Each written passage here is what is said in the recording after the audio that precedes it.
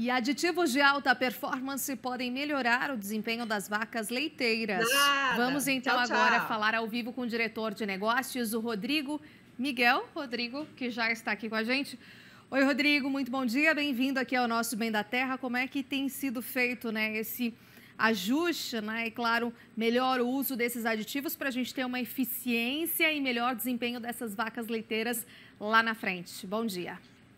Bom dia, bom dia a, a, todo o pessoal do Terra Viva, bom dia aos espectadores do Bem da Terra.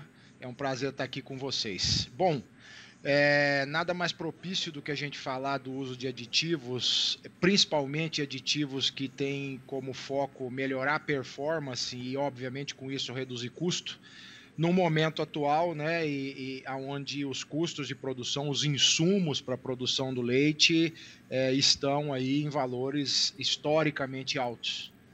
É, então é, é, é, um pouco disso que a gente que a gente faz, que a gente traz para o mercado.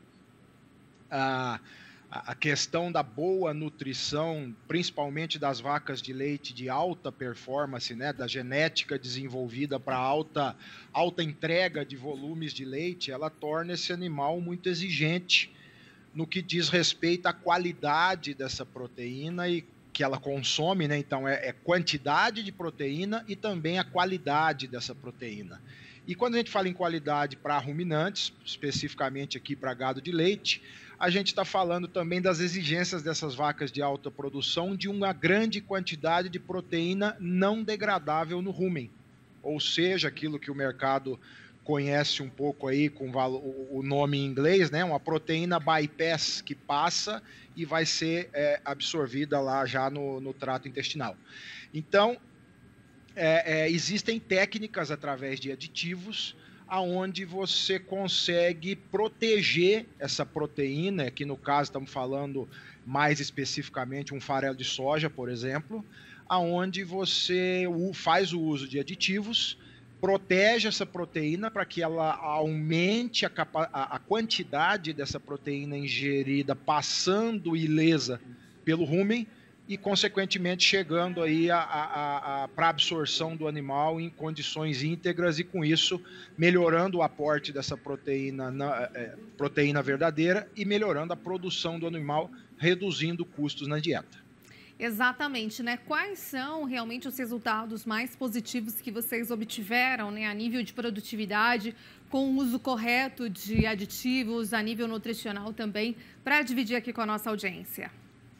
Bom, uh, no caso desse aditivo especificamente, eu estou falando do Digestup, que é um produto que faz esse processo de proteção da, da soja né, na dieta do gado de leite.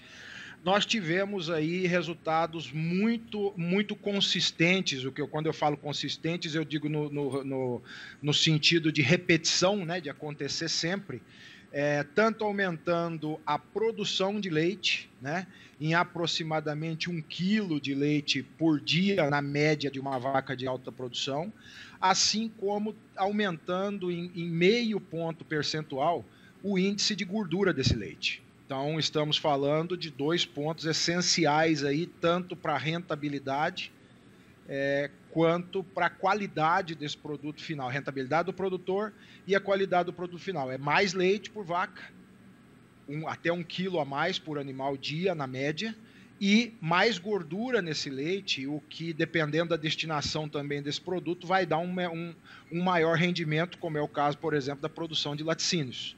Isso tudo usando os mesmos ingredientes da ração e usando esse, esse aditivo para proteger o farelo de soja e, e fazer com que esse farelo entregue mais proteína acessível do ponto de vista digestivo para a vaca de alta produção. Perfeito, então muito obrigada por sua entrevista aqui novamente. Uma ótima quarta-feira para você.